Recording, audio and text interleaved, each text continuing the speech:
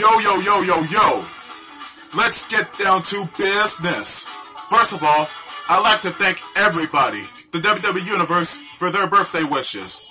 I'd also like to thank Peyton Royce for her birthday wish to me. Now let's get down to the bigger picture at hand. SummerSlam.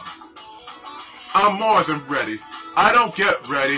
I stay ready. 24 7, 365. You want to know how I stay ready?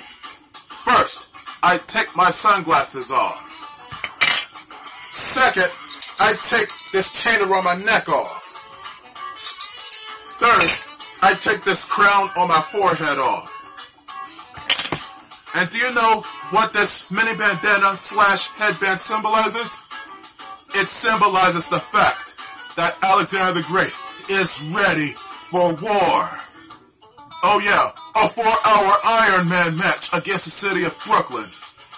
I've got all the cardio, all the endurance, all the stamina, all the flexibility, all the core strength, and especially all the charisma and all the mic skills to get the job done. The war starts at 6 p.m. Eastern Standard Time slash 3 p.m.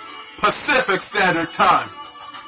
So I ask, I kindly ask and strongly recommend that the WWE Universe not miss the war between Alexander the Great and the city of Brooklyn.